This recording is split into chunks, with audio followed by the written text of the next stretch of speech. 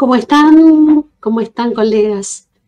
Estimadísimos y estimadísimas colegas de la música, la musicología, el cine, de Argentina, de Latinoamérica. En este caso, en una sesión híbrida, yo nuevamente estoy desde mi casa porque he tenido algunas cuestiones con eh, los traslados y los problemas de transporte en Buenos Aires.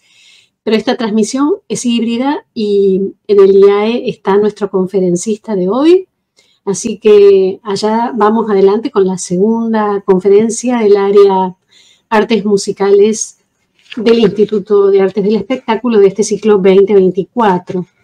Y hoy tenemos la presencia física en Buenos Aires del doctor Luis Pérez Valero, que es un musicólogo y profesor venezolano, ¿no? Él eh, está justo estos días en Buenos Aires y tuvo la amabilidad de participar desinteresadamente en nuestro ciclo de conferencias, que como les había comentado el mes pasado, ya en 2024 son híbridas, con algunas eh, presenciales, otras híbridas, otras puramente virtuales, ¿sí? Y estamos ampliando eh, el ámbito y nos venimos saliendo de la música, de las músicas argentinas de 2022 a las músicas latinoamericanas en, el ciclo 2023 para dar lugar este año a relaciones iberoamericanas, como también va a ser el caso del día de hoy y como lo fue el mes pasado en la conferencia de la doctora Virginia Acuña, que recordarán eh, vino desde Canadá. Bueno, Luis Pérez Valero es doctor en música, graduado de la Universidad Católica Argentina, es máster en música española e hispanoamericana, graduado de la Universidad Complutense de Madrid y magíster en música por la Universidad Simón Bolívar. También es licenciado en música, graduado del Instituto Universitario de Estudios Musicales en Venezuela. Eh, ha escrito y publicado ya más de 20 artículos en revistas académicas de Hispanoamérica y Estados Unidos. Es autor de, varios libros, eh, autor y coautor en algún caso, y tiene unas líneas de investigación que incluyen eh, la musicología popular, la producción musical, la estética de la grabación, la edición crítica de música y los estudios sobre la diáspora italiana en América Latina.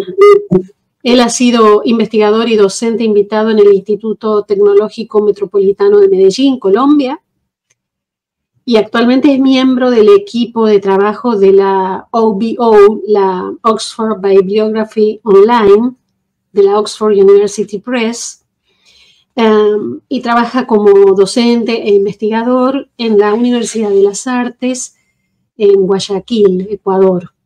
Así que, bueno, bienvenido Luis, que nos va a ofrecer su conferencia Contracultura y Franquismo la ambidiégesis de Adolfo Weizmann en la película Una vez al año Sergipi no hace daño, que es una, un film del año 1969. Hola querido Luis, lamento no estar ahí con ustedes en el IAE, con el público, pero bueno, me vi obligada hoy a hacer transmisiones de casa. Un gusto.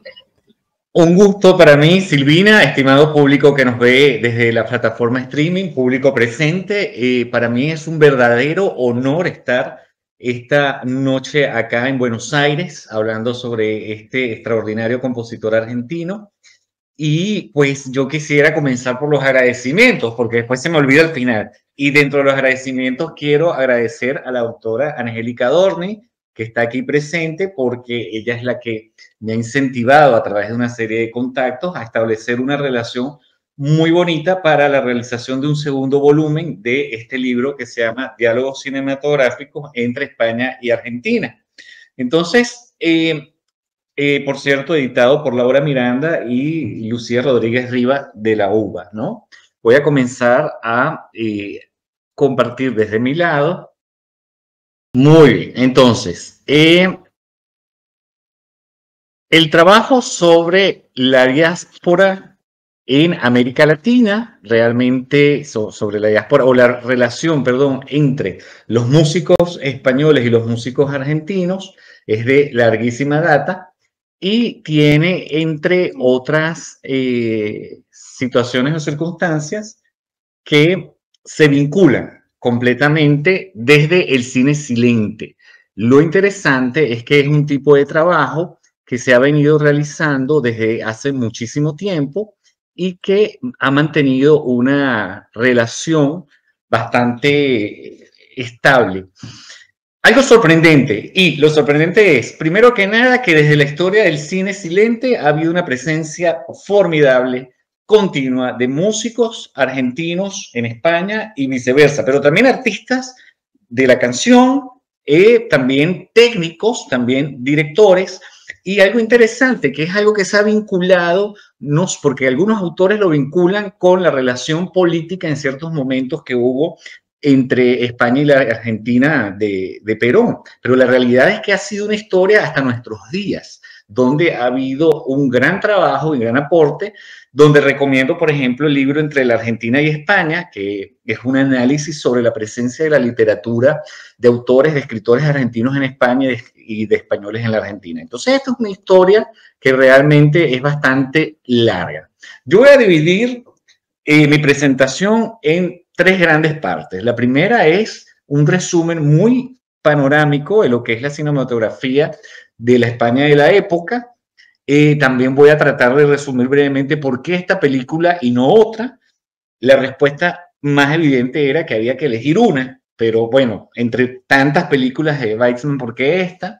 Y voy a tratar de hacer un análisis muy somero sobre, una, sobre las estrategias teóricas de ambidiégesis en dos ejemplos, ¿no? Que son Mi casita de papel y Los negros y las suecas, que son eh, parte de, del video de la banda sonora que trabaja Weizmann allí.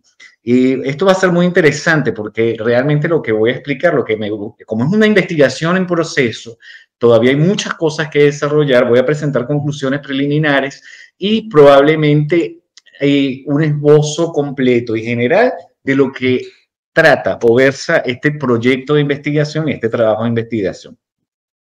Bueno, ya les dije que la relación entre cine y eh, música entre España y Argentina viene de la era del cine silente, eh, pero específicamente tratando de redondearlo hacia la era franquista, eh, suceden unos fenómenos muy interesantes que los teóricos del cine han tratado de determinar o de segmentar para la historia cinematográfica española. Ellos son el periodo del año 36 al 39, que es un periodo de guerra civil, es un periodo también muy interesante porque en medio de la guerra se hicieron en España películas, pero migró mucho productor y artista español para la Argentina de la época y se hicieron producciones acá. Después viene la década de 1940, una década que para los estudiosos del franquismo es una década muy dura, es una década de posguerra, es una década de, restricciones bastante fuertes a nivel económico y político. Pero una vez que se define el panorama mundial, la década de 1950 es la era del establecimiento de la Guerra Fría y qué sorpresa cuando se establece estos dos grandes bloques, el bloque comunista, el bloque soviético y el bloque em, occidental, pues Francisco Franco dice, yo estuve peleando contra el comunismo todo el tiempo. Entonces, comienza una serie de estrategias que las manejó muy bien en el cine para tratar de tener una apertura internacional. De hecho, esta, la película que presento, el, no presento la película, pero de las que les vengo a hablar el día de hoy, tiene una gran dosis de, eh, de elementos categóricos del franquismo, a un nivel tal que lo que comenzó como una búsqueda desde el punto de vista temático de cómo justifico la redacción de un capítulo académico, terminó siendo, para mi caso, o desde mi punto de vista, una revelación de una cantidad de temas del franquismo que estaban allí entre, líneas, entre imágenes. Estas son algunos eh, aspectos, algunos afiches de las películas que se hacían en pleno franquismo, especialmente entre los años 40 y 50, como Marcelino Pan y Vino o Calle María. Eran películas que siempre hacían un énfasis hacia la familia, hacia la religión, no se hablaba nunca del Estado y de hecho no se censura ni se critica jamás al Estado. Eh, también sirven para ser moralizantes, ¿no? Eh, establecer cualquier aspecto que pueda eh, trabajarse desde el punto de vista de, del divorcio, por ejemplo, un tema tabú en pleno franquismo, temas que hoy en día todavía continúan en, ciertas sociedades, pues las películas que se generan en el franquismo iban con esa intención.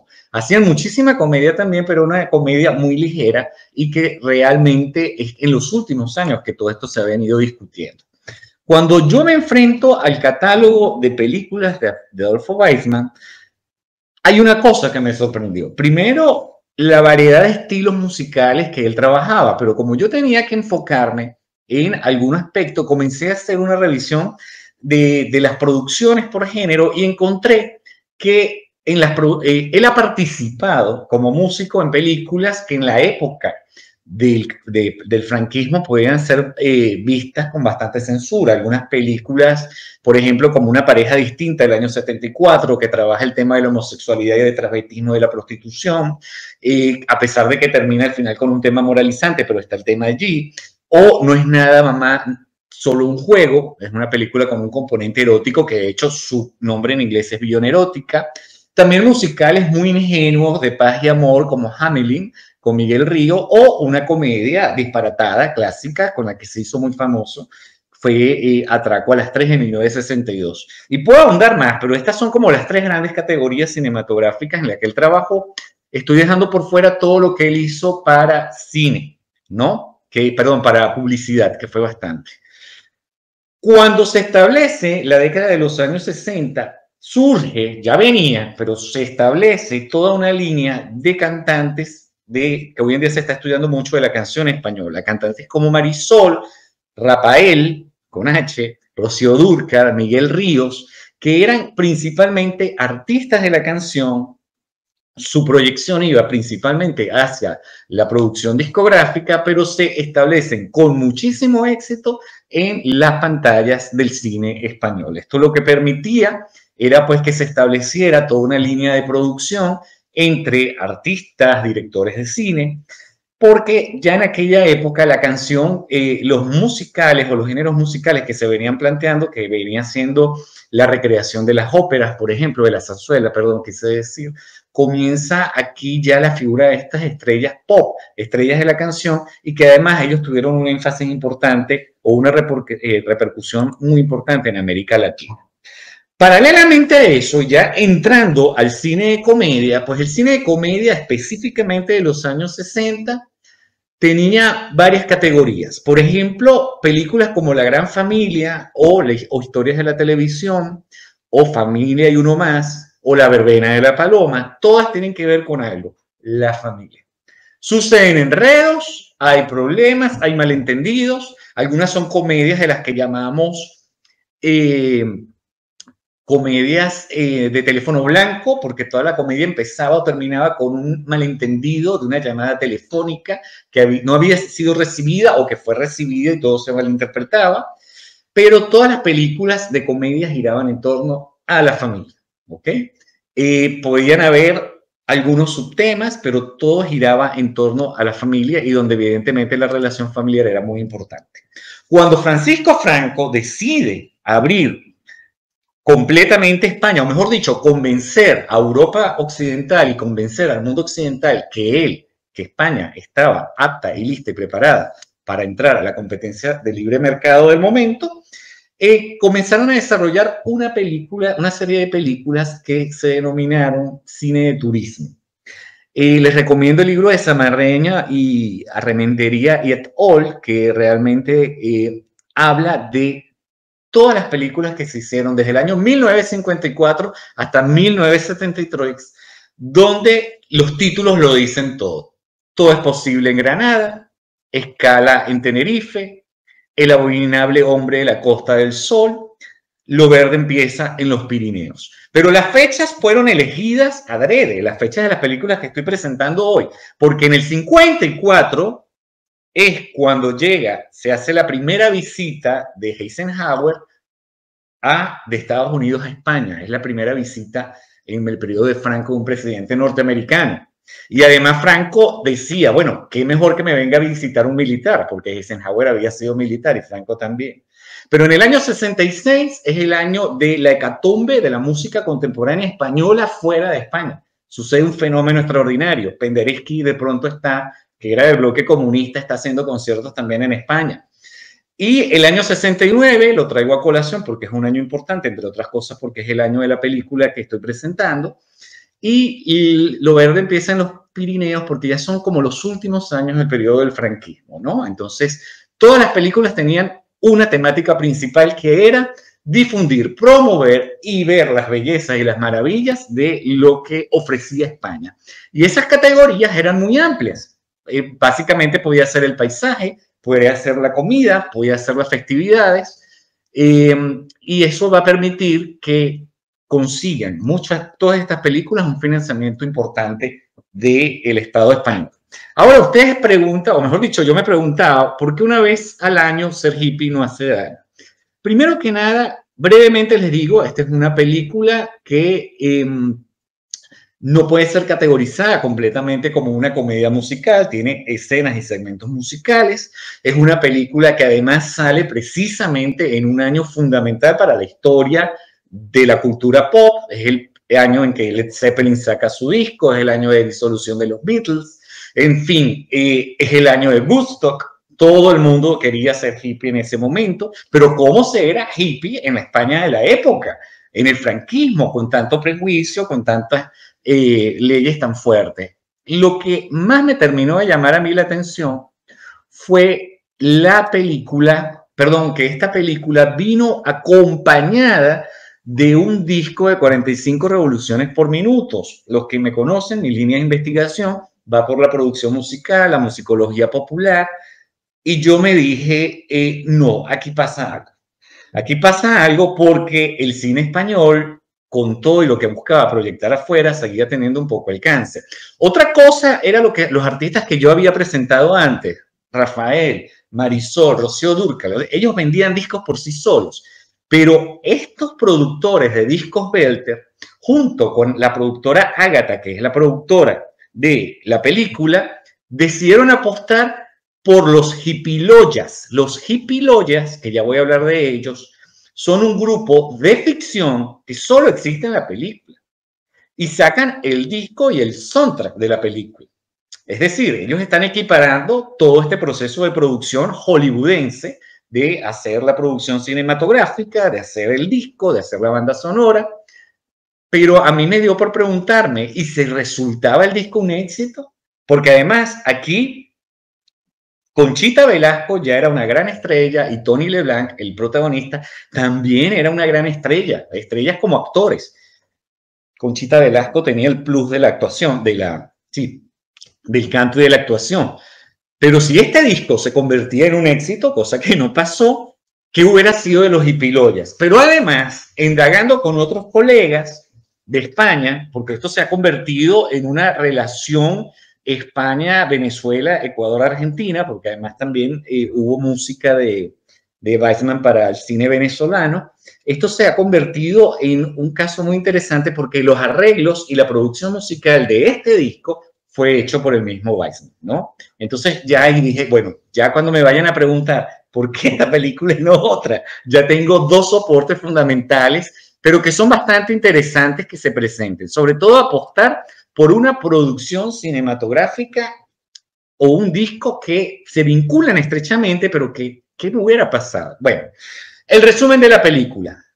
Tres cantantes, Flor de Lis y los dos del Orinoco, Lisandra, que es Concha Velasco, Alfredo Landa, que es Ricardo, y Manolo Gómez, que es Silvestre, eh, están haciendo una gira, están en una región que no he terminado de identificar de España, una región de la, yo la llamo la España profunda, campesina, de raíces, de costumbres, están cantando un tema que ya lo vamos a analizar y deciden probar suerte en eh, Torremolinos, que para aquel entonces era la, Costa del Sol, era 1969, y había un movimiento importante de hippies y de turistas para ese entonces. Entonces, cuando ellos llegan a la encrucijada, que es una parte de la película, ellos toman una decisión muy irónica en la película, porque en la encrucijada ellos dicen, a la izquierda queda Madrid y a la derecha, cinematográficamente hablando, queda Torremolinos. Y en Occidente, la izquierda quiero decir, a nivel de ángulo, tiende a verse como el pasado, como lo que está hacia allá, de lo que nos alejamos. En Madrid estaba Franco y ellos tenían la potestad de irse un ratito a la derecha, a Torremolinos, a la fiesta.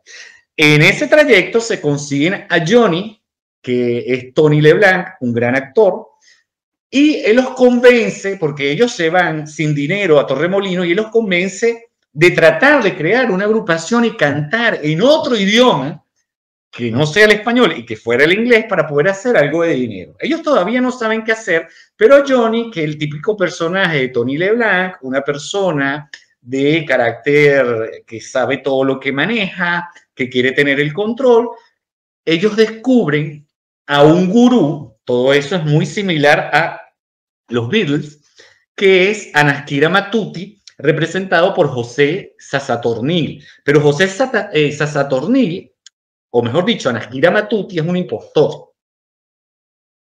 Entonces ellos deciden no revelar la identidad de Anaskira Matuti si Anaskira Matuti los convierte a ellos en los hipiloyas y los promociona. Y ahí me apareció otra cosa de doble discurso muy interesante.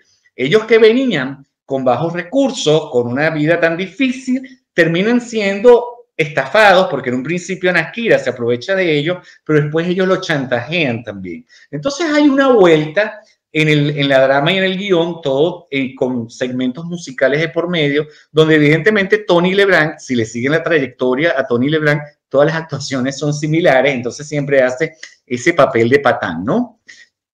Muy bien. Entre 1967 y 1968 venía Weizmann trabajando con los Bravos. Se crean dos películas formidables, Los chicos con las chicas y Dame un poco de amor. Los Bravos es una, o fue una agrupación de pop o de música yeye de los años 60 española, donde Weizmann les hizo diversos arreglos, trabajó muchísimos con ellos, hacen estas películas, estas dos películas, y lo interesante que me parece a mí que es el paso fundamental que da Weizmann, o por el cual apuesta Weizmann, es que él pudo tranquilamente, o pudieron haber utilizado a los mismos Bravos en la presentación de una vez al año, ser hippie no hace daño. Pero no, no fue así. Ellos lo que hacen, o lo que decidió Weisman fue buscar una agrupación ficticia y armarla y organizarla para que fluyera. A todas estas, los hipiloyas cantan, los actores cantan en verdad, pero los músicos son otros. Muy bien. ¿De qué va la, la parte musical de la película? Va básicamente de siete temas. Hay otros elementos que están de por medio, ¿no? Que son Mi casita de papel, con el que abre la película, Frenesí Tropical, Lizarda, Los Negros con las Suecas, Ama y Odia, Love Love y Mi Casita de Papel. Es interesante también que además que la película se llama Una vez al año ser hippie, no es tan malo, los temas hippie realmente son los temas 5 y 6. Todo lo demás es un proceso de transformación hacia lo que va a ser los loyas, pero que no termina consolidándose. Entonces, antes de ver el video que traje para el día de hoy, quiero aclarar el concepto de ambidiegesis que mi fanaticada me ha preguntado por redes, por Instagram y así. Después vuelvo al video. Prometo que vuelvo al video. Uno, lector, el análisis cinematográfico y la relación de música y cine es más reciente de lo que parece. Los autores básicamente, los teóricos lo han segmentado en música diegética, música realista, que se ve en pantalla, que se justifica en la pantalla, y música no diegética que a nadie le importa, nadie se pregunta y dice eso es música incidental. Entonces, Casabian entendía que habían como dos maneras, o trata de ir un poquito más, y él dice, mira, la música incidental es algo no convencional, es una música hecha especialmente para la película, pongo el ejemplo de un, un artista muy famoso, un director muy famoso como es Christopher Nolan, o puede ser música compilada, que son hechas por grabaciones preexistentes, cosa que hizo Stanley Kubrick, pero lo que muchos no sabíamos era que Stanley Kubrick lo comenzó a hacer cuando tuvo problemas con los compositores. Los compositores le quedaban mal y Kubrick dijo, mejor utilizo música que ya existe. Hagen en el año 71 dijo, pero aquí pasa algo, porque cuando tenemos la fuente sonora y la música diegética, hay momentos en que esa pasa y se convierte en música no diegética, pero también pasa al revés. O sea, tengo el mejor ejemplo es alguien viene en un carro escuchando una grabación en la película, quiero decir, y apaga la grabación o apaga el auto, pero la grabación queda sonando en su cabeza. Hay una estrategia cinematográfica allí. Él lo definió como source coding, que no he conseguido la traducción en español, eh, pero bueno, estoy tratando de, dar con esa traducción. Kasabian retoma eso y él dice, bueno, entonces vamos a mantener a la música eh, diegética como el identificador de los personajes, del evento, del lugar, y la música no diegética como aquella que nos va a dar entender el estado anímico de los personajes, que nos va a direccionar eso. Pero cuando haya esa transición, lo vamos a llamar comentario, porque es un comentario psicológico que le estamos haciendo a la audiencia para que construya la atmósfera de ensoñación, evocación, etc.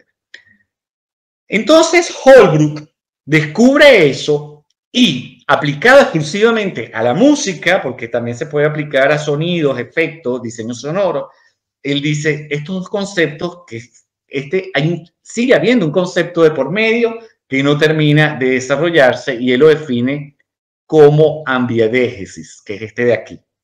Él dice, lo diegético, la historia interna con descripción realista, entra en la zona de sonido con el elemento no diegético, con una historia externa. Es decir, cuando estos elementos en la imagen permanece el elemento acústico por encima de la imagen, lo va a llamar ambidiégesis. Porque claro, ¿cuál era el problema? El problema era la realidad. La realidad es que el cine, su material fundamental es el tiempo, que diría Gilles Deleuze, pero es la imagen también. Imagen y tiempo, eso es el cine. Entonces, claro, todos los teóricos venían cuestionando la música y buscando la justificación. Esta es la vuelta interesante que Holbrook le da. Holbrook dice, olvidémonos por un momento de la supremacía del montaje, de la, de la figura dictatorial del cineasta, vamos a concentrarnos en cómo funciona esa música.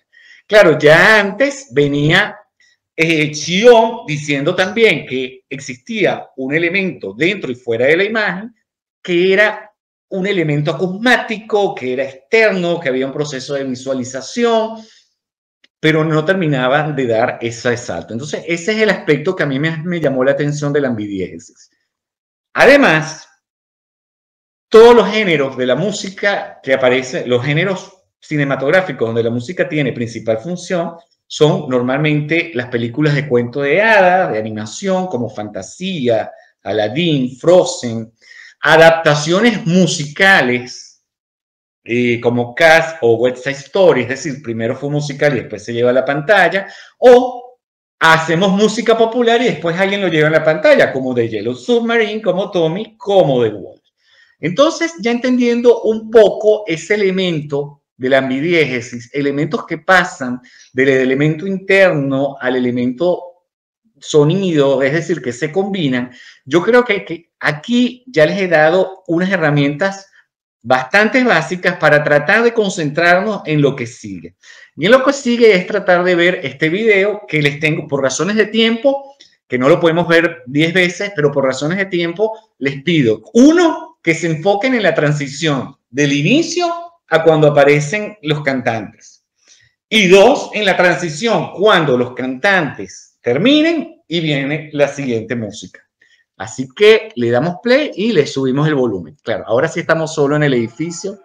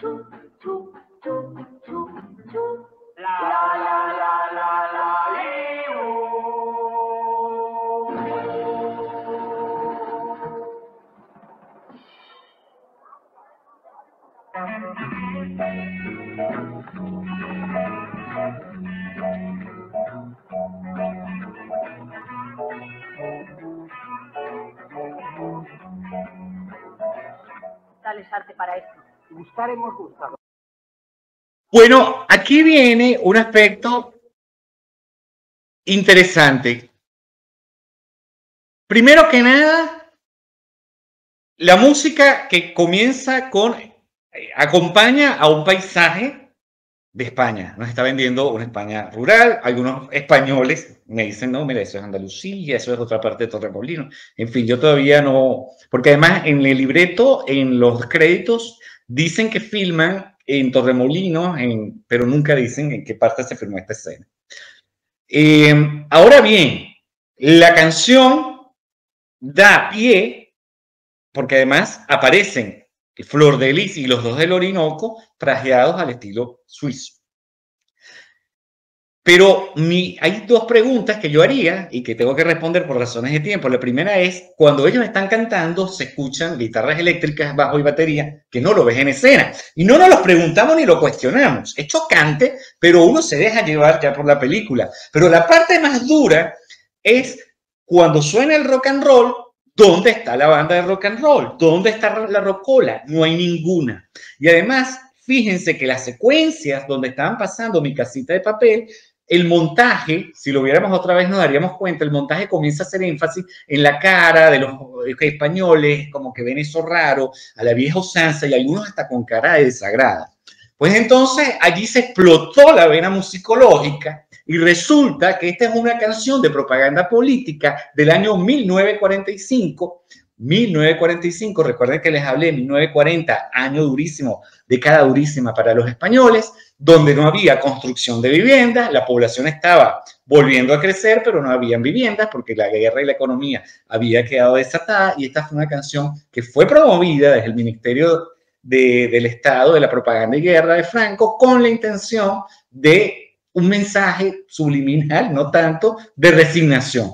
Es un tema de resignación y un tema de resiliencia. Cuando yo descubrí eso, mi cerebro dijo, no, ¿y por qué va al final? Porque es que la repite dos veces. Entonces, revisando todas estas teorías, descubrí o he aplicado que en específicamente en la película Una vez al año se aplican todos los elementos condicionales entre no diegético, ambidiégesis, diégesis, pero sobre todo tenemos el elemento de música pop, que es lo que domina en la película, pero también el de cuento de hadas que hoy no voy a poder presentar.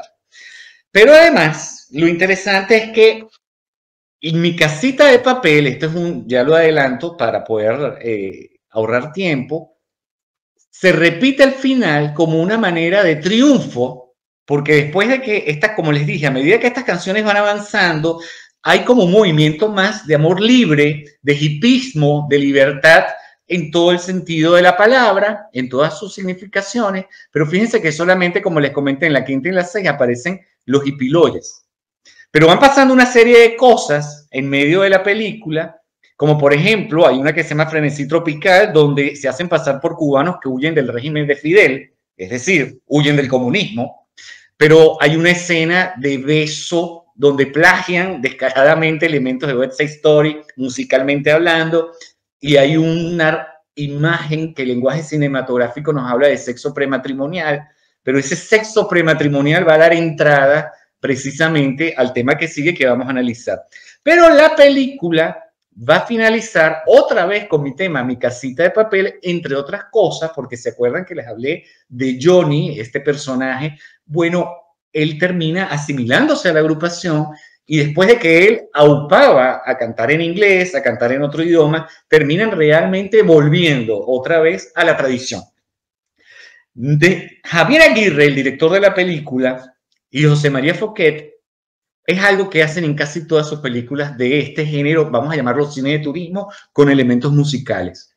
Busco mostrarle al turista que se puede relajar, pero también le enseño al español dónde se puede mantener y cuáles son los límites que no puede trazar, pero además son muy categóricos. Si, lo, si los traspasas, sabemos muy bien cómo hacer que vuelvas para acá. Y eso es como va funcionando la de aquí. No, esto fue una locura. ¿Cómo se define la ambidiegesis? Holbrook, en una versión mía, no de la inteligencia artificial, lo define como elemento musical de transición entre un segmento diegético a uno no diegético y viceversa. La ambidiegesis incluye elementos musicales no diegéticos que aparecen para reforzar la psicología de los personajes y enfatizar el drama. En la ambidiegesis no interesa en dónde está la fuente sonora, dentro o fuera de la imagen pretende responder cómo la música funciona a nivel argumentativo desde la perspectiva cinematográfica. Pero el ámbito cinematográfico no lo vamos a poder comprender si no entendemos el contexto de la película como tal. Es decir, el paisaje que se nos presenta acá, todo lo que es la síntesis de la España rural. Fíjense cómo van los cuadros, gradualmente se van abriendo para dejarnos ver a Conchita Velasco, ya en ese momento una de las más grandes actrices de la canción española y del cine español, y comienzan a alternar en el montaje la imagen de, fíjense, esto es muy interesante, jóvenes y adultos.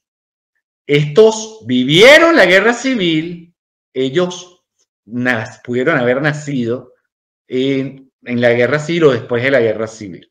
¿Ok? Fíjense también la edad de los participantes, el uso de las gorras, de las boinas, fíjense el uso de las camisas. Y esto se va repitiendo. Van haciendo el montaje, va apareciendo gente joven e incluso hay una secuencia, pero por segundos, que yo creo que fue un error cinematográfico, pero es una escena de segundos donde este personaje de acá, este, aquí también hay otro problema del inglés porque em, el, ya no se puede decir extras en inglés, ni background profile o performance, porque es políticamente incorrecto. Pero bueno, en aquella época, ella como extra, ella sale a, bailar y toma a otra mujer y le da un giro a la otra mujer, pero inmediatamente el, el editor hizo un montaje y desaparece esa secuencia y después vuelve a aparecer acá. Bueno, ellos quedan los Dos de los Orinoco quedan completamente desmoralizados por este paso de la modernidad y aquí es cuando ellos se consiguen a eh, Johnny. Entonces Johnny los convence de hacer música en inglés, los hace pasar como los padres de los Beatles, los enfatiza, los incita a cometer una serie de crímenes, como si fuera poco, el, personaje de Johnny mantiene una fea, una relación con Lizarda, pero que los actores en la vida real la tenían. Pero además hay otra cosa importante, había una diferencia de edad. Él tenía 17 años, había una 17 años de diferencia entre uno y otro. Pero todo esto se va a resolver al final de este video. Entonces, aquí hay muchas cosas que hablar, que seguir discutiendo y argumentando, pero la noche es joven y mañana hay un paro de transporte y queremos llegar a casa. Entonces, vamos a ver este video. Ya han pasado varias canciones. Aquí el video comienza con Johnny enseñándoles a cómo hacer música. Les aclara que la canción se debe llamar Los negros con las suecas uno de los personajes le dice, pero no, la canción debe decir algo, debe transmitir nada. Y él dice, la canción no debe transmitir nada. Estoy resumiendo la película porque, por si no, imagínate. Él dice, la canción es de protesta, no debe decir nada. Entonces, es interesante porque también este es el año en que comienza a haber un movimiento de cantantes de protesta más intenso, ya estaba por allí Joan Manuel Serrat, eh, Joaquín Sabina, em, y sobre todo eran cantantes de protesta que hacían unas canciones muy poéticas, todo el mundo le, le cargaba con, ese, con esa carga semiótica de la protesta, pero ellos, las protestas estudiantiles en España en esta época fueron muy fuertes y los estudiantes usaban esos cantos también. Vamos a ver entonces ya directamente el videoclip de una vez de los negros con las suecas, pero antes quiero decir algo también. A diferencia del primer video, donde vemos las secuencias de las imágenes y donde la música va gradualmente convirtiéndose en parte de la presentación, esto ya es un videoclip. Aquí esto es una transición y de pronto tenemos un videoclip. Es verdad, están los negros con la sueca con una condición extraordinaria, pero vayan fijándose un poco en los personajes que van saliendo porque los necesito retomar para el ejercicio de mi viejes. Hala. Una, dos. Los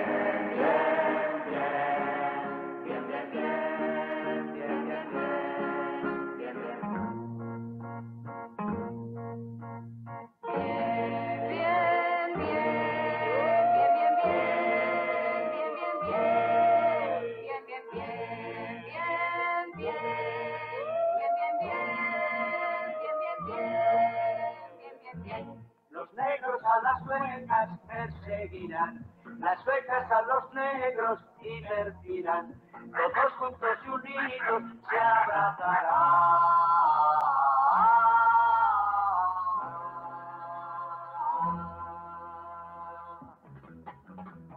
No existirá el color ni lucha antirracial. No, no, no, no, lo mismo será un lord que un pari en Portugal. Las reglas ya no lujo vivirán y hasta los gringos van a Consentir. entender suelen. Y viviremos bien, y viviremos bien, y viviremos bien, bien, bien, bien, bien, bien, bien. Y viviremos bien, y viviremos bien, y viviremos bien,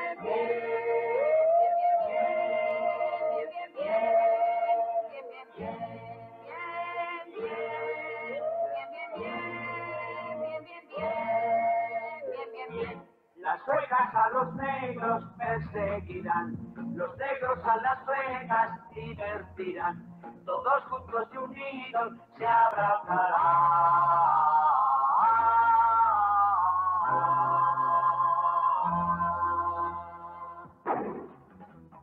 La playa es un hogar sin discriminación. Ay, ay, ay, ay, no se puede jugar con la segregación. No habrá ya nada que ocultar, nadie a quien temer, todos dichosos de vivir tan bien, tan retete bien.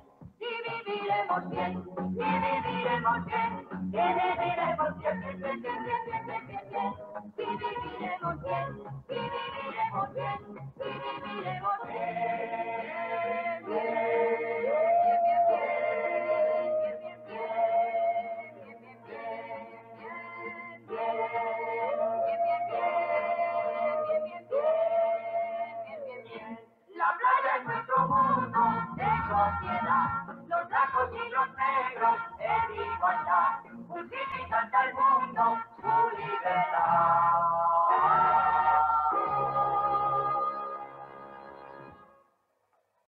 Bueno, esta escena, todo fluía muy bien hasta que empiezo a revisar Y como les comentaba, antes de esta, de esta canción, eh, el lenguaje cinematográfico nos da a entender que Johnny y Lizarda han consumado su amor.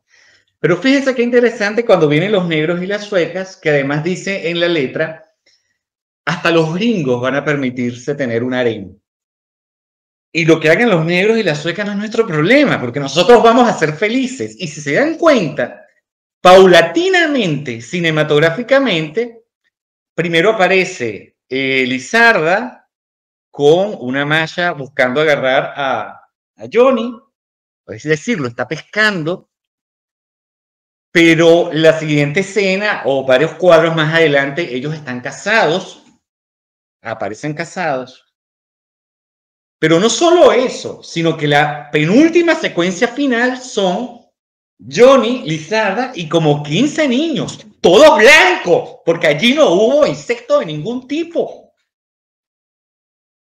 Y todo este entramado musical Sur se va montando cinematográficamente con otros elementos que van recordando, van evocando lo que va a ser las propuestas Yeye, porque entonces, claro, el, el, corto musical va cargado de todo el estilo de vida relajado de la Costa del Sol, de lo que se promueve dentro de la cultura hippie, pero por encima de todas las cosas, nosotros mantenemos las tradiciones, mantenemos la familia mantenemos los hijos. Y el aspecto más escalofriante de toda esa secuencia final no sé si recordarán que al final aparece un sol y ellos se dan un beso. Y el himno del franquismo del partido facha se llama Cara al Sol. Cara al Sol, etcétera. No recuerdo el himno. Ustedes dirán, bueno, profe Luis, es que usted es muy rebuscado, le está buscando las cinco patas al gato. El problema radica en que cuando comienzas a ver que todas estas películas fueron fomentadas, dirigidas y promocionadas dentro de ministerios franquistas, que tuvieron además, no fue que pusieron, la película la proyectaron y a la semana la quitaron de cartelera, duraron varias semanas. Era difícil que fuera un éxito, entre otras cosas, porque también eh, tanto Tony LeBlanc como Concha Velasco tenían un ritmo de producción cinematográfica bastante intenso, entonces como que cada película iba sola, cada éxito de una película de ellos iba solapando a la otra. Ya para ir concluyendo, mis conclusiones son completamente preliminares y lo que queda claro es algo. Primero, musicalmente hay un aporte significativo de Weizmann, porque además él en ese instante ya se comienza a consolidar como uno de los fundadores, de acuerdo a la bibliografía española, del flamenco pop. Es decir, un argentino que está apostando por la mezcla de elementos españoles dentro de España. Segundo, él manejaba, se manejaba dentro de todo este ámbito desde el punto de vista comercial de la producción cinematográfica, eh, de la producción de discos también. Además de eso, los hipiloyas o la producción de esta propuesta de película permite o queda en, da en evidencia de que sí, se puede ser hippie una vez al año, porque realmente eso es lo que sucede si vemos la película, solamente en un momento diacrónico dentro de la película se convierten en hippie, pero luego salen, porque después vuelve a aparecer mi casita de papel, que es la misma versión, pero donde ahora todos los personajes han llegado a un establishment, a una relación de armonía y tranquilidad. A mí me gusta terminar las conclusiones siempre con preguntas para que no me pregunten. Pero bueno, ¿qué queda aquí por indagar? Bueno, primero que nada, eh, queda indagar las otras conexiones con las otras canciones dentro de la película. Eh, segundo, también tratar de establecer cuáles fueron los parámetros eh, de, diseño sonoro, de acústica que se trabajaron ya en, el aspecto de la producción musical, que me interesa muchísimo. Y por último, también em, quisiera acotar que el que escribió las letras. Bueno, queridos colegas, disculpen el corte en la transmisión, seguramente generado por el asunto de los derechos de autor del, videoclip que estábamos viendo, la parte de los negros y las suecas, que justo al final hemos eh, perdido la transmisión. Así que le damos el pie a Luis para que retome. Allí había varias personas desde Brasil conectados, Lucía Rodríguez también comentando que le parecía muy eh, desopilante ese video cuando justo se cortó la transmisión. Así que Luis, te damos el pie. Muchísimas gracias. Primero que nada, estimados colegas, eh, público presente, no podemos olvidar que estamos en vivo y en directo y estas cosas pasan. Segundo, se cortó en los negros y las suecas, pero no se cortó en mi casita de papel, que además era un poquito más largo. ¿Saben por qué? ¿Saben por qué? Entre otras cosas, porque precisamente en Los Negros de la Sueca, tiene, que es el compositor de la música, los derechos de autor van, directamente para el sello discográfico que a su vez compró Belter. Como si fuera poco, eh, en Los Negros y la Sueca suceden varios elementos que eh, ya eh, dije en su momento y que incluía que Lizarda y el personaje de Lizarda y Johnny habían tenido una relación fuera del matrimonio, de acuerdo al lenguaje cinematográfico que nos invita Javier Aguirre, el director del cine, a presentar. E inmediatamente eso va a dar paso, después de una serie de, de escenas de comedia, va a dar paso a los negros y las suecas. Y fíjense que precisamente en los negros y las suecas todo el libertinaje es permitido, pero no para la pareja, porque además Lizarda va pescando a Johnny Posteriormente se casan, y no es que se casan, eh, se casan por la iglesia, el matrimonio en velo y corona, porque además en la España de la época, y de hecho hasta hace poco, el matrimonio civil era reivindicar, te casabas por la iglesia y punto, y eso valía para Estado y para la iglesia. Y posteriormente terminan la escena con toda esta serie de hijos que aparecen al final y el beso, que es la parte que me parece a mí más fuerte, es bajo la bendición del sol y es precisamente cara al sol como comienza el himno del franquismo, del fascismo, que cuando iban o iban, no sé si iban todavía a el Valle de los Caídos, donde estaba la tumba de Francisco Franco, tú ibas como turista y te encontrabas a fachas cantando el himno. Entonces, no, ya estoy cerrando, ya estoy cerrando. Weidman, Weidman funciona muy bien musicalmente, pero él no hace las letras. Esto es algo que yo quiero aclarar también. Las letras fueron desarrolladas por Javier Aguirre, que es a su vez el director de la película, y que además en aquel momento eran directores, Javier Aguirre, José María Forquet, directores que trabajaron mucho con Weidman, o al revés, Weidman trabajó mucho con, él, con ellos, que no habían terminado una película cuando ya estaban buscando los presupuestos en el ministerio para poder filmar la otra. Entonces siempre hay un juego, por lo menos en esta película, de libertad dentro de lo que te puedo permitir, dentro de la España franquista, si lo haces en Torremolinos y no en Madrid, siempre y cuando lo hagas y después vuelvas a las partes, a las normas del amor de que te ofrece el Estado, la patria y la religión. Allí pasé a las conclusiones parciales y dentro de las conclusiones parciales yo lo que quería presentar era, entre otras cosas, uno, que eh, esta película es un ejemplo, entre otras, de cómo funcionaba el cine de turismo para promocionar las bondades y las bellezas de España, porque me salté muchas partes donde se habla de la gastronomía, se hablan de otras partes de la España, pero sobre todo para decirle al turista, sobre todo sueco, francés, alemán, italiano, que portugués también, que podían ir a España, que podían pasarla muy bien, que iban a tener todas las comodidades, pero también quedaba entre líneas a los españoles que estaban allí, que, ok, tómate una libertad, pero tienes que volver dentro del establishment. Esta película es mucho más compleja de lo que parece ser. Es una comedia frívola, aparentemente, pero después de que tú le das la relectura, después de que te metes ese puñal intravenoso de la ambiviesis de vaina, de, o mejor dicho, de Holbrook, y entender que todo el mecanismo de la música funciona para integrarse y legitimar un prototipo, es otra cosa. Fíjense, por ejemplo, que la música, especialmente de los negros y la sueca, es música yeye, es música pop de la época, permite hacer un videoclip en el sentido moderno del término, permite montar imágenes, jugar con los colores, esos cambios de color no es que la película fuera mala, bueno, no sé, a lo mejor sí estaba mala la película, pero pudieron en la posedición arreglarla y no lo arreglaron. ¿Saben por qué? Porque en la siguiente escena, que en el siguiente musical que no vamos a ver, lamentándolo mucho, pero la película se puede descargar sin problemas de derecho de autor, ustedes van a encontrar que a medida que la película va avanzando, el lenguaje, el ritmo de las imágenes se va, va cediendo su espacio y su tempo de prolongación en la música. Es algo interesante, por lo menos en esta película.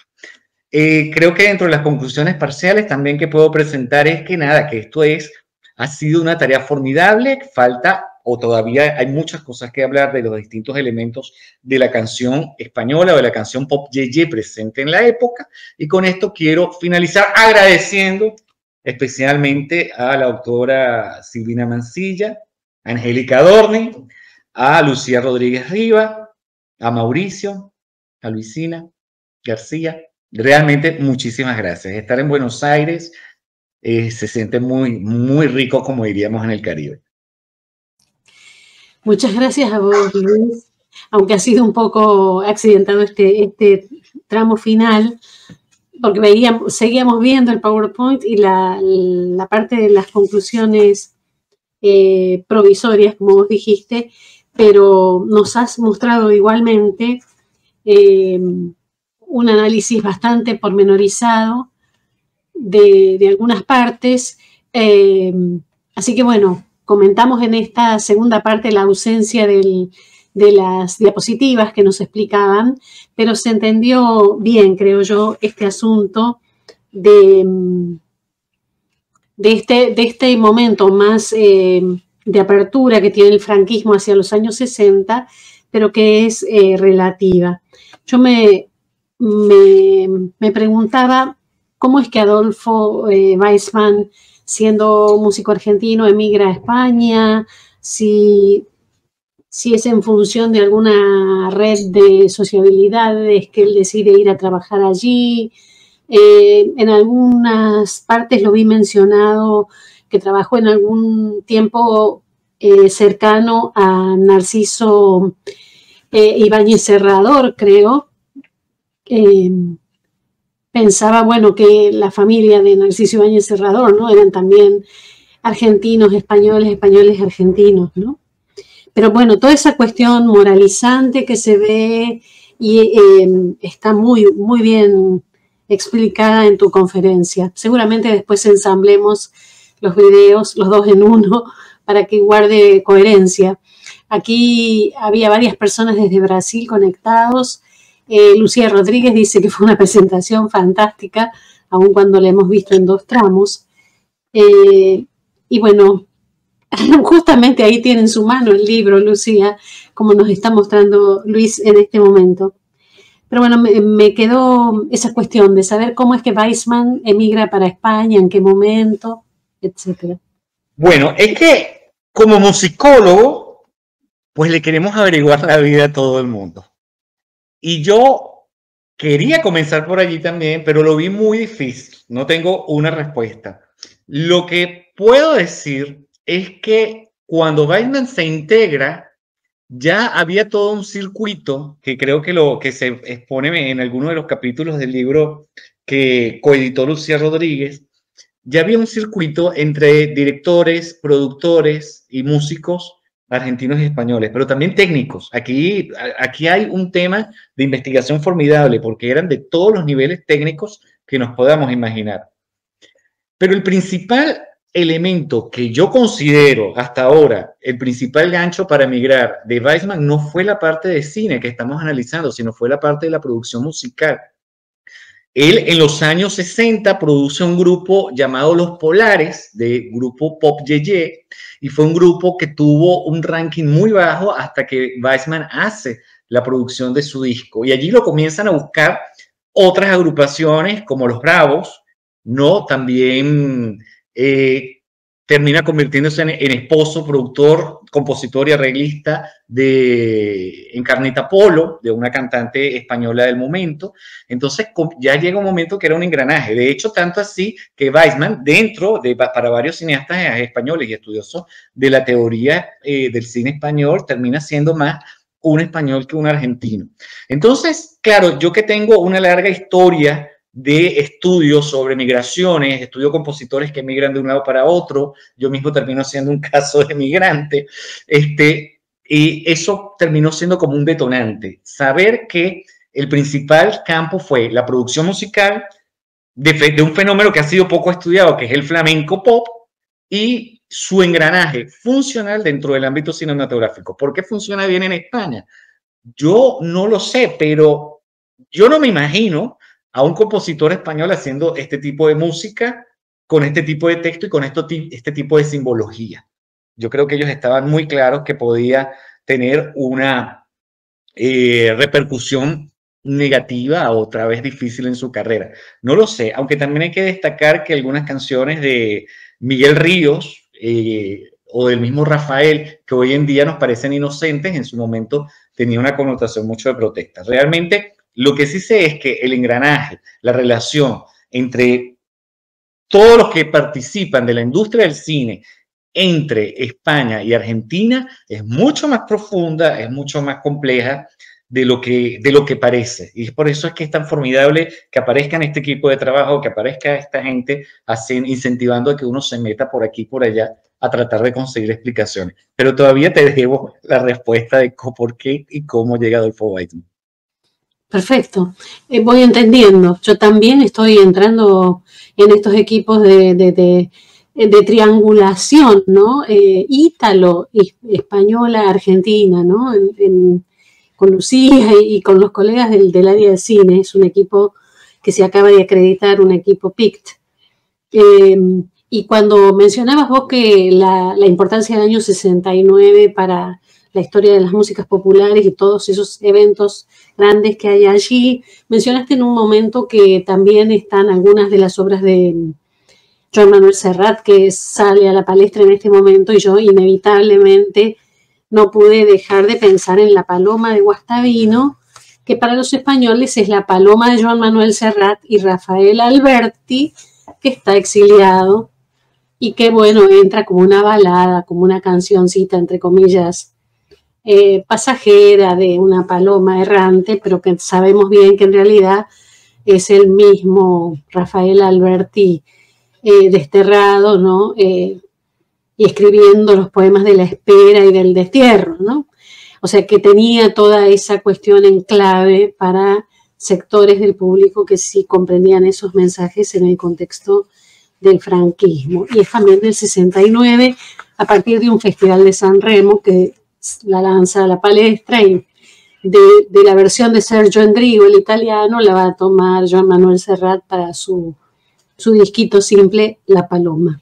Así que está justo en ese mismo año y quedó muy bien eh, y claramente en el, en el panorama que nos diste de otras películas, porque tu, eh, tu decisión de recaer finalmente en esta película, eh, en la cual nos podés explicar con mucha claridad esta cuestión de la ambidiegesis. Bueno, acá Mauricio de Lima, que está en la asistencia técnica, nos comenta en un chat privado que él también pensó en la paloma cuando hablábamos de, cuando mencionaste a John Manuel Serrat y el año 69. Yuri nos saluda desde Brasil, ¿no? Eh, que muchas gracias por el ciclo de conferencias eh, de música del IAE desde Manaus, en Brasil. Bueno, y en el chat anterior había otras personas también, además que están en sala. Algunas personas, no sé si en sala. Tal vez. Acércate. Cerco. Sí, estamos en confianza. Escucha perfectamente. Eh, bueno, yo te quería consultar, ¿me escuchan ahí? ¿Sí? ¿Se escucha? Perfecto. y, si las otras, eh, a ver, ¿qué, si has podido analizar en las otras canciones también un contenido moralizante, amistoso hacia el Estado, digamos, eh, eh, sugiriendo al, espectador esto de ser un buen español, ¿no? Un español católico, correcto, con, trabajo, casado, con hijos, bueno. Y a su vez, si eso aparece en otras canciones, y a la vez me preguntaba por este, mm, por esta otra imagen de la España turística, de la buena vida, ¿no? Que parece ser eh, de España para afuera, o sea, un mensaje no para los españoles, sino mm. para eh, el resto de los europeos. De repente me vino a, la cabeza la canción de Rafaela Carrá, que debe ser unos años después, nada más, no, no, sé exactamente el año, eh, y si todavía estaba el franquismo o no, pero esto de para hacer bien el amor hay que venir al sur, pensando en Claro. España, ¿no? La, la tierra más al sur, la tierra más calurosa, con sus playas, con, con sus tragos, con sus ricas comidas. Entonces, eh, esta dualidad, ¿no? De esa España que comenzaba a liberarse, quizás de fronteras para afuera, pero que para adentro tenía estos mensajes, ¿no? Bueno, cosas que pensaba. Bueno, sí, gracias, eh, Angélica.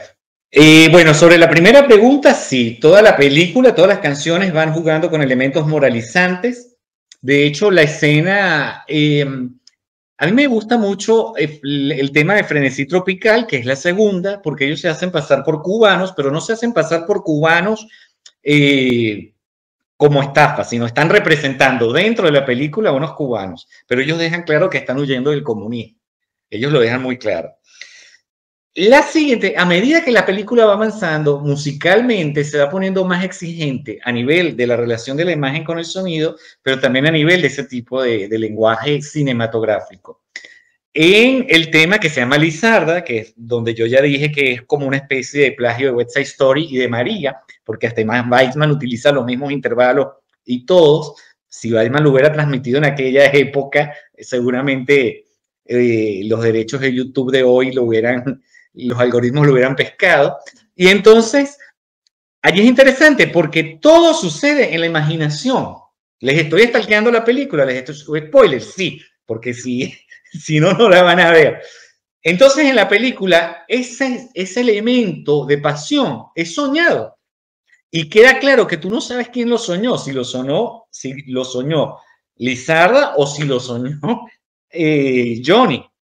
Y incluso en la escena de Los Negros y las Suecas, donde eso se va, yo creo que, que Javier Aguirre tuvo que haber puesto cinematográficamente, decir, mira, tenemos que resolver este conflicto y dejarle al espectador claro que, que quede ambiguo, no envidiegético, ambiguo ese ámbito de relación y que fluya hacia el otro lado. Con Rafaela Carrá, Rafaela Carrá no merece un libro, merece una enciclopedia de todo lo que se puede sacar de Rafaela Carrá. Pero respondiendo directamente a tu pregunta, eh, hubo, ¿por qué, hay, ¿por qué se está viendo muchas cosas de Adolfo Weizmann? ¿Por qué los académicos están volviendo a Adolfo Weizmann? Especialmente los académicos españoles. Porque claro, ellos retoman estos temas de películas que yo les hablé, de transvestismo, de homosexualidad, que eran temas recurrentes, que eran temas que estaban allí en la sociedad española, una sociedad española eh, presionada y no en vano, justo en lo que muere Franco y se establece una apertura a la democracia, estalla este boom de la movida española, de la movida madrileña, que realmente fue una explosión en todos los sentidos habidos y por haber, aunque para mis amigos españoles ellos dicen que eso solo pasó en Madrid.